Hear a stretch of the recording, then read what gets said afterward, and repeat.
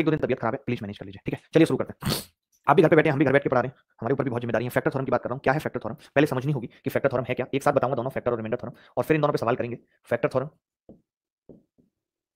यानी हिंदी में इसको कहते हैं गुणनखंड प्रमेय। गुणनखंड प्रमेय। ये थोड़ा मैं गुणनखंड बोलने पे तुतला जाता हूँ। गुणनखंड प्रमेय। ठीक है? अच्छा क्या है गुणनखंड प्रमेय? फैक्टर थॉरम कहती क्या ये वो रिमाइंडर नहीं है जो हम नंबर सिस्टम में पढ़ते थे। इसका उससे कोई लेना देना नहीं है। ये अलग चीज़ है। ठीक है? बहुत ध्यान से समझेंगे। पूरी एनर्जी से समझेंगे, पूरी ताकत से समझेंगे, कैसे देखिए। मैंने लिखा बेटा एक्स स्क्वायर माइनस पाँच एक्स प्लस छः ठीक है? आप सब जानते हैं कि मैं इसके फैक्टर कर सकता हूँ, आप भी कर सकते हैं, कोई बड़ी बात नहीं, इसके फैक्टर होंगे एक्स माइनस दो और एक्स माइनस तीन। क्या इन दोनों के अलावा कोई और फैक्टर इसका हो सकता है बेटा? इन दोनों के अलावा इसका कोई और फैक्टर नहीं हो सकता, यही दो फैक्टर होंगे, ठीक है? यही दो फैक्टर होंगे। अब मैंने ये कहा कि अगर ये इसके दो फैक्टर हैं एक्स माइनस दो एक्स माइनस तीन, अगर मैं इसमें एक्स बराबर दो रखता हूँ, इसमें तो आप कहेंगे ज़ीरो आ जाएगा। एक्स बराबर तीन रखता हूँ तो भी ज़ीरो आ जाएगा। फिर मैं कहूँगा इधर तो आप कहेंगे ये कैसी बात कर रहे हो? दोनों तो बराबर है। आप दो इधर रखोगे तो भी ज़ीरो आएगा। दो दूनी चार और छह दस माइनस दस ज़ीरो। तीन रखोगे, तीन नौ, छह पंद्रह तो भी ज़ीरो आएगा। मतलब एक ही बात है। फिर मैंने कहा कि क्या दो या तीन के अलावा कोई और ऐसी वैल्यू हो सकती है जिसको मैं यहाँ रखूँगा ज़ीरो आ जाए? तो बच्चा बोलेगा, नहीं हो सकती। मैंने कहा, क्यों नहीं हो सकती? आप कहेंगे क्योंकि वो इसके फैक्टर नहीं है, जो इसके फैक्टर होगा, उनका मान ही ज़ीरो के बराबर रखने पर ये पॉलिनोमियल इक्वेशन ज़ीरो आ सकती है और किसी पर ये ज़ीरो नहीं आएगी। यानी आपने देखा, अगर आपको ये ना पता होता, कोई आपसे वेरीफाई करा रहा होता कि x माइनस दो इसका फैक्टर है, कोई आपको कह रहा होता कि x माइनस दो इसका फैक्टर है चेक करो। तो आप कहते कि मैं इस फैक्टर को अगर ज़ीरो कर लेता हूँ तो ये ज़ीरो आना चाहिए।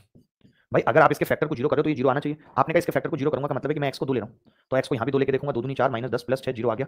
इसका मतलब है कि हाँ जी फैक्टर है यस आपका जवाब होगा कि फैक्टर है यस उत्तर होगा। तो देखिए फैक्टर थोड़ा मैंने भी आपको एग्ज़ाम्पल लेकर समझाया, मैं लिख रहा हूँ कि फैक्टर थोड़ा ये कहती है कि if if x minus A is the factor of x minus A is the factor of F x यानी x माइनस ए अगर एफ़ एक्स का फैक्टर है, गुणनखंड है, इसका मतलब है कि यहाँ से मैं x का मान निकालता हूँ सफ़ेद कलम से।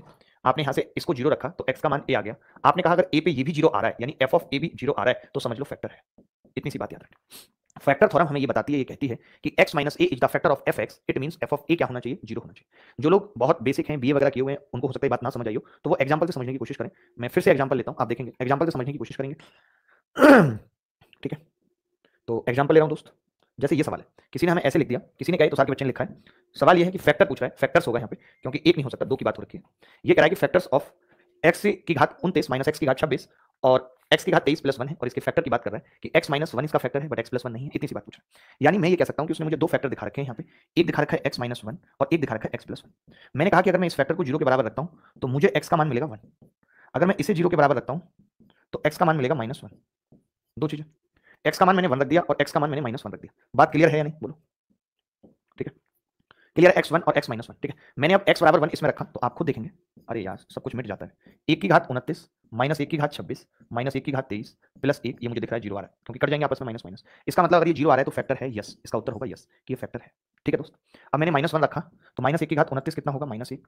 ये माइनस एक की घात छब्बीस माइनस एक। ये प्लस एक हो जाएगा, ये भी प्लस एक हो जाएगा, यानी ये भी कितना आ गया? ज़ीरो ध्यान से समझ लो, माइनस एक आ जाएगा, वो तो माइनस एक ही रहेगा, ठीक है? ये भी ज़ीरो आ गया, यानी ये भी फैक्टर है, यस उत्तर।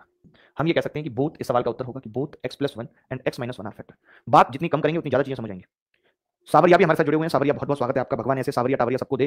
प्रियंका सावरिया भी हमारे साथ जुड़ी हुई है, प्रियंका जी, कैसे करूँ? तारीफ़ आपकी। इलेक्शन लड़ना होगा तुमको। बच्चा मुझे छुट्टी कब होगी? अभी करूँगा इसकी छुट्टी। अभी आए हुए मुझे दो मिनट नहीं हुई इसको छुट्टी चाहिए देखिए, मैंने एक एग्ज़ाम्पल लेकर के आपको फैक्टर थॉरम समझा दी कि फैक्टर थॉरम क्या है। अब मैं एग्जांपल लेकर आपको समझाता हूँ रिमाइंडर थॉरम क्या है। ठीक है? आपको हेडिंग लिखनी होगी